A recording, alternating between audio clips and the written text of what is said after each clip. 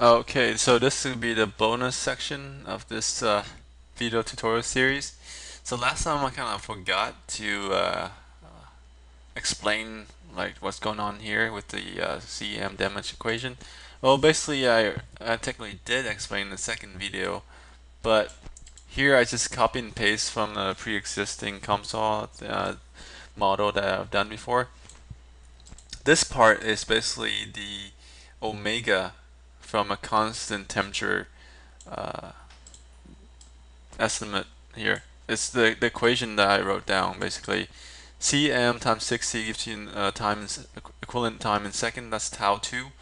And this is e to the EA divided gas times the 43 was the T break, right, in Kelvin. And this is the, uh, the A value uh, I wrote down in the equation. So exponential to the minus omega gives you the uh, the number of cells alive, right? So 1 minus that gives you the damage value, basically. So that gives you the uh, percent damage over time plot. But that is not exactly why I'm making this uh, bonus video. Uh, the reason why is actually I want to add a tumor to the model here. So you can add an ellipse and um, semi-axis 0.08 and this one uh, 10 uh, 1 centimeter and then this one is uh, 8 millimeter. Let's see. And location is uh, 0.16 0.016 Okay. And then uh, I want to do 180. Uh, well, just do 270. Not no, no, 180. How can you rotate? Um, how can you rotate this?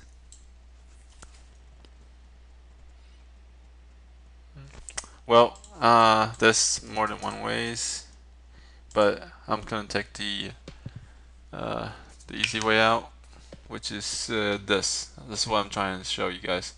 So, okay, this is another thing you can do is Boolean operation and take the difference.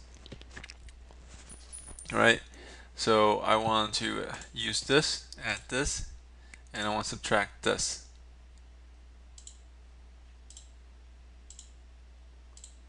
And let's see what happened. Oh, look, I just subtracted my antenna. That's not good. So what do I do now? Um, well, here's a trick that I found found out. I can import a second time. Uh, well, delete this thing. I can just copy this thing, duplicate, and build. There we go. Now I have my thing. But that's not all. If you notice, if you zoom in a little closer, uh, the boundary here is still there. You need to delete those two boundaries. Uh, so delete, there's a delete option, do entity, and select boundary, and then select the boundary you want to delete. And then build all. Now you have the geometry you need to model the tumor inside the liver, right? So that's the next thing you can do is add a tumor tissue here.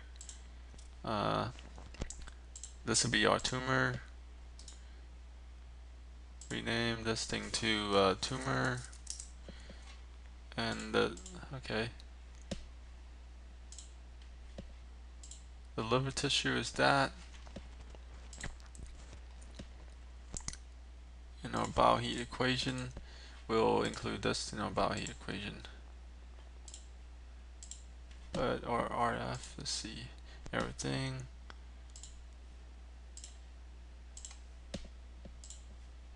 Yeah, for the PD you want to do all the tissue, biological tissue, okay? Same thing about heat. This one, everything. Tumor, epsilon. Uh, what should we use for the epsilon value?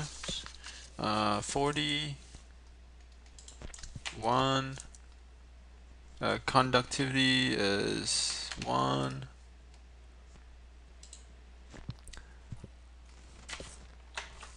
K liver, density uh, rho liver,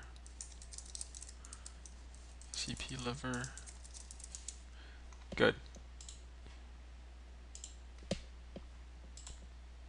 Yeah, and now we can actually simulate this thing with the uh, tumor in here. So let's try it out.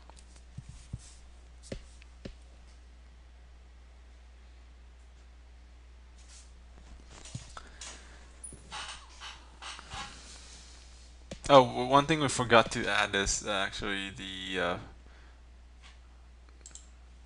the tumor perfusion, the right. Okay, well in this case we're just going to assume that the tumor has the same uh, perfusion as the uh, normal tissue, but that's incorrect in real life. So that's up to you, you want to do that. Let's go ahead and do that so you guys know how, how to do it. Add a biological tissue, uh, let's rename this one to tumor. Of course this one's liver. And then add bioheat. Oh shoot, this already has one by default. So this one will have rho blood.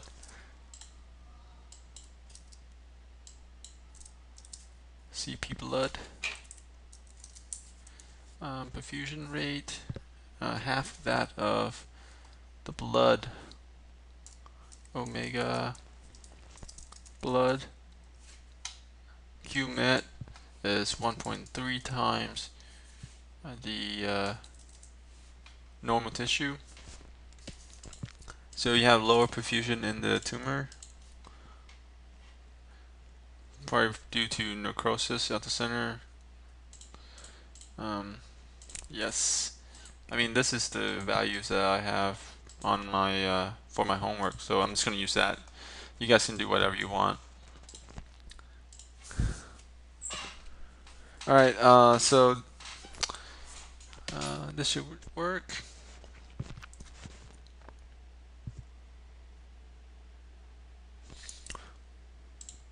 Yeah, it's using, I have a the i5 3570K and it's a pretty good processor, uh, you know, and it's using 92%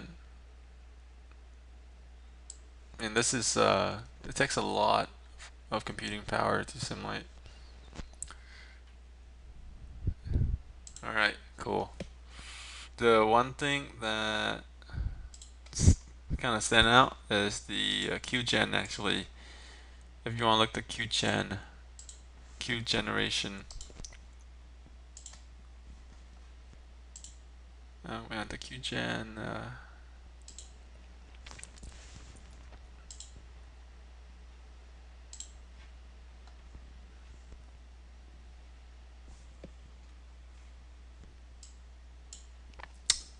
Okay, yeah, I guess there's not a lot of heating at this moment.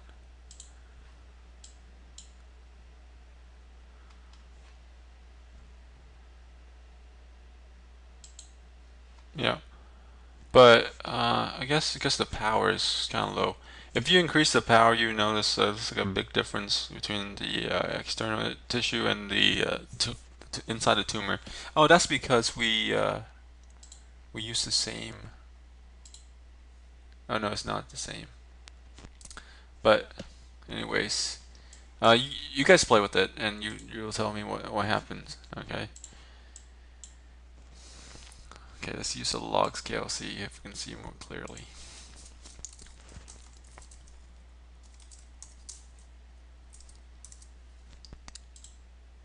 Nope. Uh, so QGen doesn't work for log scale. Yeah. All right, man. Uh, I mean, that's all I'm going to do for this series. I'm not going to make more videos on for this series. I hope you guys enjoy, find this useful sort for your schoolwork or whatever thesis, master thesis or whatever. Sounds cool. Alright, see you next time. Bye.